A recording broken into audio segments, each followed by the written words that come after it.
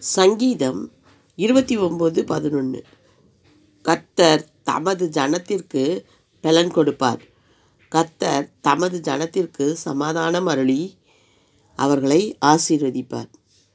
ஒரு மனுஷனுக்கு முக்கியமாக தேவை சமாதானம் தாங்க. சமாதானம் இல்லைன்னா அவனுக்கு நிம்மதியாக என்ன செய்யாது? தூக்கம் கூட வராது. நிம்மதியாக அவனால் அவனுடைய ஆத்மா நிம்மதியாக இருக்காது. இப்போது கர்த்தர் என்ன பண்ணார்? இருபத்தி ஒம்போதாவது அதிகாரத்தில் பதினோராவது வசனம் என்ன சொல்கிறாரு கர்த்தர் தமது ஜனத்திற்கு அப்படின்னு இருக்கு இல்லைங்களா? அந்த இடத்துல வந்து நம்ம ஜனத்திற்கு பலன் கொடுப்பார் அப்படின்ட்டுருக்கு அந்த இடத்துல வந்து நம்ம பேரை போட்டுக்கலாம். கர்த்தர் கர்த்தர் தேவிக்கு கர்த்தர் யமுனாவுக்கு அப்படின்னு சொல்லிட்டு நீங்கள் உங்கள் பேரை போட்டு நீங்கள் பலன் கொடுப்பார். அப்படின்னு சொல்லி நீங்கள் அறிக்கை பண்ணும்போது உங்களுக்கு கர்த்தருடைய பலன் இறங்கும். அடுத்தது கர்த்தர் தமது ஜனத்திற்கு அந்த இடத்துல நீங்கள் போட்டுக்கலாம். செல்வியோ குமுதாவோ ஏதோ ஒரு பேர் போட்டு கர்த்தர் தமது குமு ஜ செல்விக்கு சமாதானம் அருளி செல்வியை ஆசீர்வதிப்பார் அப்படின்னு சொல்லி நீங்கள் உங்கள் பேரை போட்டு நீங்கள் வாசிக்கும்போது அந்த சமாதானம் அப்படியே உங்கள் குடும்பத்து மேலே இறங்கும். எவ்வளோதான் சொத்து சுகம் பணம் காசு இருந்தாலும் சமாதானம் இருந்தால் தான் நம்ம வாழ்க்கை சந்தோஷமாக இருக்கும். சங்கீதம் முப்பத்தி நாலு பதினாலுங்க. அதாவது என்னென்னா சமாதானம் எப்படி கிடைக்கும் அப்படின்னு சொல்கிறார் ஆண்டவர். தீமையை விட்டு விலகு. தீமையை விட்டு விலகி நன்மை செய். தீமையை விட்டு என்ன செய்யணுங்க? விலகிடணும். நன்மை செய். சமாதானத்தை தேடி அதை தொடர்ந்து கொள் அப்படின்னு சொல்கிறார் சமாதானத்தை என்ன பண்ணுங்களாம்? தேடணுமா நம்ம.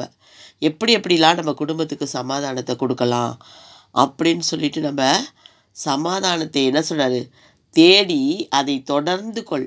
ஏன்னா சமாதானங்கிறது வந்து ஒரு இன்னைக்கு நாளைக்கு இருக்கிறது இல்லைங்க. அது வந்து ஒரு தொடர் செயல்.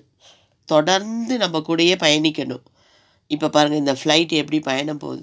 இந்த ஃப்ளைட்டு போகுது பார்த்தீங்களா சென்னையிலேருந்து அந்தமான் போகுது இந்த ஃப்ளைட்டு இந்த பயணம் எப்படி போகுது பாருங்கள் இந்த பயணத்தை பயணம் போல் நம்ம வந்து தொடர்ந்து என்ன பண்ணணுங்க? சமாதானம் வந்து நம்மளை தொடர்ந்து வரணுங்க. இப்போ பாருங்கள் இந்த ஃப்ளைட்டில் ஏறுறோம். ஃப்ளைட்டு பைலட் எப்படி இருக்கார்? ஃப்ளைட் எப்படி இருக்குது இன்ஜின் எப்படி இருக்குது அப்படிலாம் நம்ம பார்க்குறோமா கிடையாது. ஃப்ளைட்டில் ஏறுறோம். சென்னையில் ஏறுறோம் அந்தமானில் இறங்குறோம். அவ்வளோதான் நம்ம வந்து என்ன? நம்பிக்கை. அந்த நம்பிக்கை வந்து நம்ம ஆண்டவர் மேலே அந்த நம்பிக்கையை வச்சா நிச்சயமாக உலகம் தரக்கூடாத சமாதானத்தை நம்மளுக்கு இயேசு கிறிஸ்து தருவதற்கு வல்லவராக இருக்காருங்க. என்ன சொல்கிறாரு சங்கீதம் முப்பத்தி நாலு பதினாலு. தீமையை விட்டு விலகி நன்மை செய். சமாதானத்தை தேடி அதை தொடர்ந்து கொள் தொடர் செயல். சமாதானங்கிறது ஒரு தொடர் செயல். தொடர்ந்து நம்மளுக்கு இருக்கணும். அப்போ தான் நம்ம வாழ்க்கையில் நம்ம ஏதோ கஞ்சி சாப்பிட்டாலும் சரி பிரியாணி சாப்பிட்டாலும் சரி நிம்மதி இருக்கும் நம்மளுக்கு. அடுத்ததாக சங்கீதம் முப்பத்தி ஏழு பதினொன்று சாந்த குணமுள்ளவர்கள் பூமியை சுதந்திரித்து மிகுந்த சமாதானத்தினால் மன மகிழ்ச்சியாக இருப்பார்கள். சாந்த குணம் இருந்துச்சுன்னு வச்சுக்கோங்களேன். நமக்கு பூமியை சுதந்திரித்து மிகுந்த சமாதானம் அதாவது கொஞ்சம் நஞ்சம்லாம் இல்லைங்க மிகுந்த சமாதானத்தினால் மன மகிழ்ச்சியாய் இருப்பார்கள். ஹாப்பியாக இருப்பாங்க. அதாவது மனம் சந்தோஷமாக இருந்தால் எந்தவித நோயோ எதுவுமே நம்மக்கிட்ட அணுகாதுங்க. மன மகிழ்ச்சியாக இருப்பாங்க. சந்தோஷமாக அதுதான் முக்கியம். மன மகிழ்ச்சியாக இருந்தால் எந்த ஒரு நோயும் நம்மக்கிட்ட அணுகாதுங்க. அடுத்த வசனம். சங்கீதம் முப்பத்தி ஏழு முப்பத்தி ஏழு நீ உத்தமனை நோக்கி செம்மையானவனை பார்த்திரு. அந்த மனுஷனுடைய முடிவு சமாதானம். புரியுதுங்களா? நம்ம வந்து பொல்லாதவர்கள் மேல் நம்ம பொறாமை கொள்ளக்கூடாது. அவங்க வந்து அப்படி இருக்காங்களே அவங்க நல்லா வசதியாக இருக்காங்களே அவங்க வந்து பெரிய வீடு கட்டிட்டாங்களே அவங்க பெரிய கார் வச்சுருக்காங்களே அப்படின்னு சொல்லி நம்ம வந்து யார் மேலேயும் நம்ம பொறாமையே படக்கூடாதுங்க. ஏன்னா கடவுள் அவங்களுக்கு படைச்சி கடவுள் அவங்களுக்கு கொடுத்துருக்காரு. அதை பார்த்து நம்ம பொறாமப்படக்கூடாது. நமக்கு கர்த்தர் கொடுக்கும்போது நம்ம அதை யூஸ் பண்ணிக்கணும் நம்ம எடுத்துக்கணும். அது வரைக்கும் நம்ம அவங்க என்ன அமைதியாக ஆண்டவருடைய கரத்தில் நம்ம அடங்கி இருக்க கற்றுக்கணும் அது என்ன சொல்கிறாரு ஆண்டவர் என்ன சொல்ற நீ உத்தமனை நோக்கி நல்லவங்களை நோக்கி பாருங்க. செம்மையானவனை பார்த்திரு. நல்லா செம்மையாக வாழ்கிறாங்க பாருங்களேன் அவங்க பார்த்துருங்க. செம்மையான இருதயம் இருக்கணும் அவங்களுக்கு உத்தமனாக அந்த மனுஷனுடைய முடிவு என்னது? சமாதானங்க. உத்தமனாக இருக்கும் போது அவருக்கு என்ன கிடைக்குது? சமாதானம் கிடைக்கிது. அவருடைய முடிவை பார்க்கும்போது சமாதானமாக டெய்லி போகிறதும் வர்றதும் அந்த மாதிரி சமாதானமாக இருக்கிறாரு. ஏன் சமாதானமாக இருக்கார்? அவர் வந்து உத்தமனாக இருக்கார்.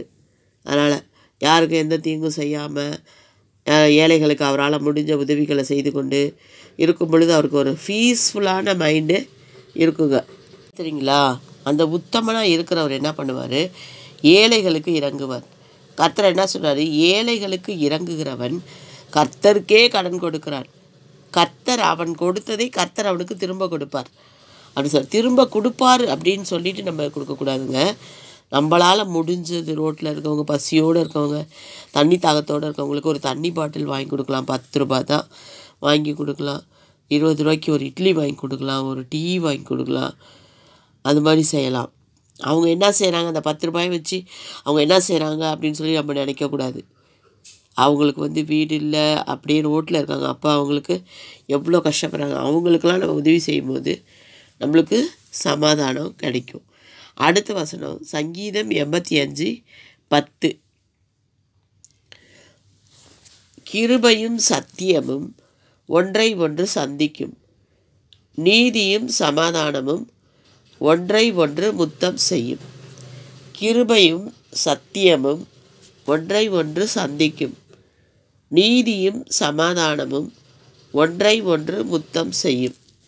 பார்த்தீங்களா அப்போது ஒன் ப்ளஸ் ஒன் அதாவது கிருபையும் சத்தியமும். ஆண்டவருடைய கிருபையும் வேதத்தில் இருக்க சத்தியமும் என்ன செய்யலாம் ஒன்றை ஒன்று சந்திக்கும். அப்போது நீதியும் சமாதானமும். நீதியாக நம்ம நடக்கும் போது என்ன செய்யும்? நம்மளுக்கு சமாதானம் வந்து நம்மளை முத்தமிடுங்களாம். நீதியாக நடக்கும் போது சமாதானம் வந்து நம்மளை என்ன செய்யும்? முத்தமிடும். இந்த வீடியோவை நீங்கள் தொடர்ந்து கேளுங்க.